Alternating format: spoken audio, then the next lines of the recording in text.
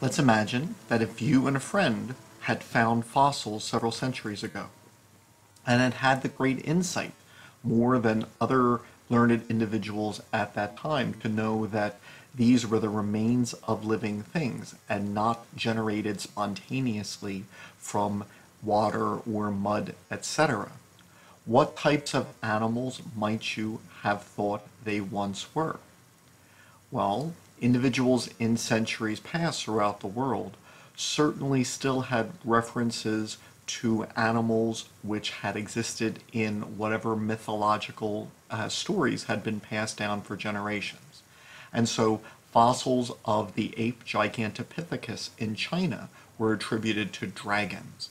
And the uh, Paraguayans had a belief in the Ao Ao, a giant sloth-like animal, which perhaps is a cultural recollection of the giant ground sloths that the first Native Americans in South America encountered. Many Europeans would interpret fossils in much the same light, uh, referring to them as being dragons or unicorns, etc. This was strengthened by theologians who, in the Bible, or at least in the translations of the Bible that they were using, found references to dragons. And so St. Augustine here is clearly referring uh, to dragons, uh, which uh, were mentioned at several uh, passages in the Bible. Given that the translation of the Bible most common in Christendom in the Middle Ages, used references to unicorns, more so in the King James than in the Vulgate. Many argued that unicorns must exist because they were referenced in the Bible and attributed fossil bones to unicorns. The Bible vaguely refers to an animal known as the behemoth, and mammoth fossils were often attributed to this creature, the behemoth. In fact, it is likely that the word mammoth is a Russian derivation of the term behemoth.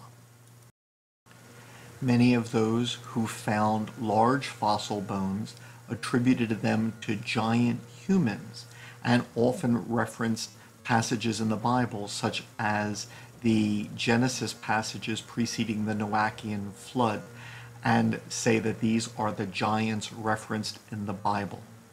The Puritan thinker in the Americas, Cotton Mather, used the same argument and claimed that the elephant fossils of mastodons which were discovered in the New World were actually the remains of these Genesis giant humans.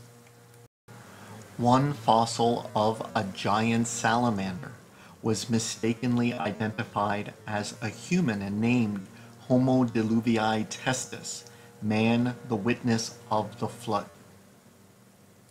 Centuries ago, people had beliefs in animals ranging from dragons to unicorns to giants because of their pagan mythology or uh, theological references.